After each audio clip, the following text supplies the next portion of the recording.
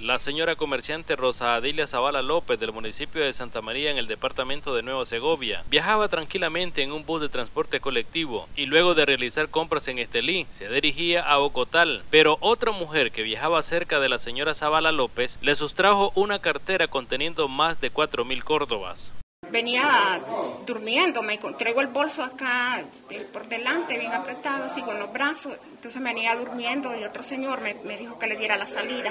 Me paré y quedaba el asiento mío desocupado y el del señor que se está bajando. Entonces puse el bolso en el asiento que viene el señor y la señora esa, ¿verdad?, de que recuperó el dinero. Entonces ella se sentó en el asiento ella dice que viene para cuando y le digo, eh, le digo, no es que venís para acá nomás. Le digo, no, dice. Entonces se sentó y en lo que las, viene bien lleno el bus, en lo que yo estoy buscando entrada para donde tengo el bolso, ella metió la mano en el bolso y sacó la cartera, ¿verdad?, con el dinero. Entonces yo me los pusimos alarmantes ahí toda la gente porque yo grité y le dije, me llevan el dinero al llegar a la terminal de la ciudad de Condega. Afortunadamente la víctima de robo se dio cuenta en el momento y llamaron a la policía donde fue capturada la carterista.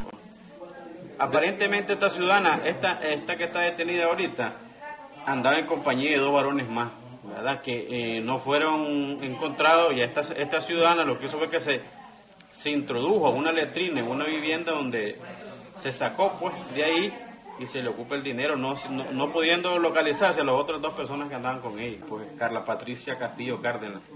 Desde Condega les informó Julio César Rivera.